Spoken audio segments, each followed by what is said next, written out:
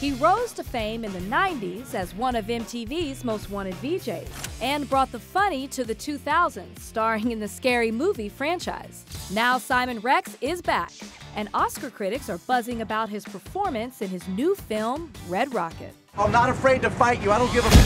What does all this positive attention mean? I mean, yeah, it's flattering. It's just cool that that's even being discussed. As long as I'm in the game working, I'm happy. In the dramedy, Simon plays a washed up porn star who returns to his Texas hometown.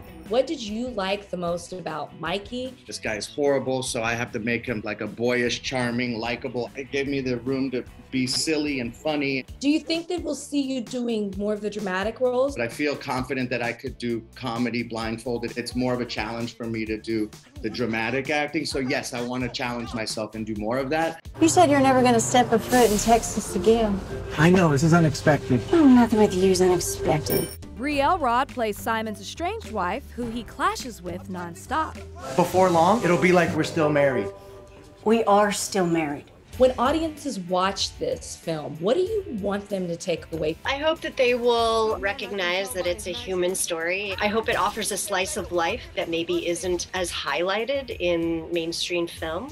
Get ready for all the drama in theaters now.